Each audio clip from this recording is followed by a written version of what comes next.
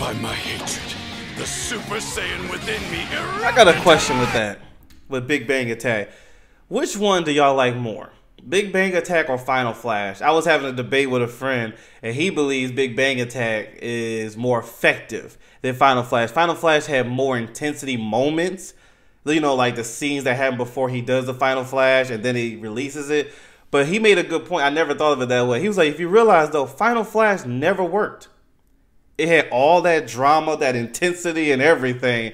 And Cell is not even damaged. Well, Cell was damaged, but he was messing with Vegeta and Jiren wasn't damaged at all. He was like, at least Big Bang Attack, it finished off uh, Android 19.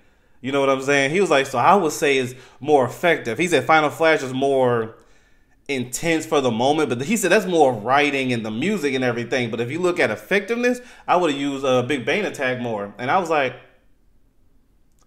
you got a point. That's true. Because I used to always say Final Flash was the best. But it's true though, all that intensity and he didn't even win